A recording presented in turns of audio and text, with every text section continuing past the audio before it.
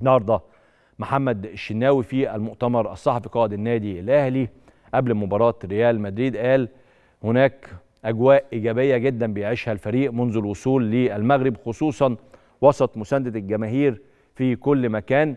وقال إن إحنا لدينا تركيز كبير من بداية البطولة واليوم يتضاعف لأننا سنواجه ريال مدريد املا في خطوة جديدة في كأس العالم للأندية. قال إن الأهلي بيلعب بشكل جماعي وبيعمل حساب كبير لريال مدريد والتجهيز للمباراة ليس اتجاه لاعب معين فقط ولكننا بنستعد لمواجهة الفريق بشكل عام بكل تأكيد.